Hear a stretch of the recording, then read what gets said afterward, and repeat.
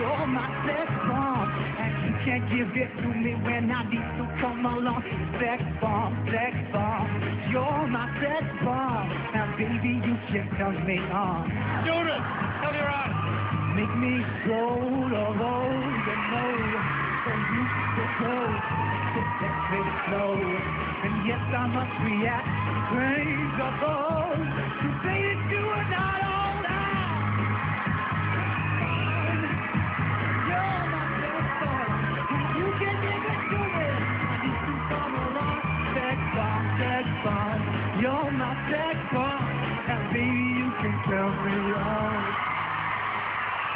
Thank you very, very much.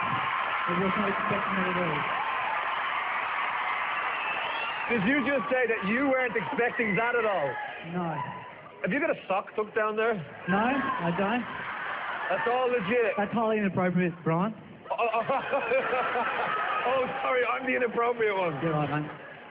I kind of liked it. Thanks for the I kind of liked it. You've got great legs as well, haven't you? I liked it. You got a um, you got a good act. Not the best singer, but I don't think you were really here to sing. Um, and the only the only advice I would give is when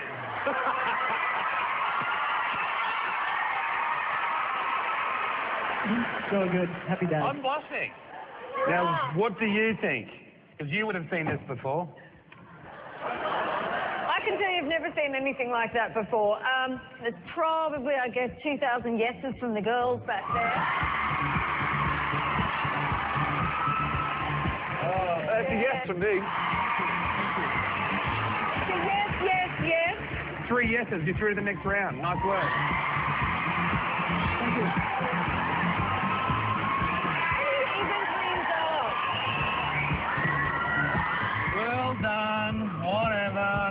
Dannii wanted me to give you this. Uh-huh. Now go back to Tassie before my wife sees you. Okay, thanks. Good luck. Good luck. Well done. Oh, kids, you burned me as well. It seems like Melbourne's attracting all manner of surprising acts, but is weird always wonderful?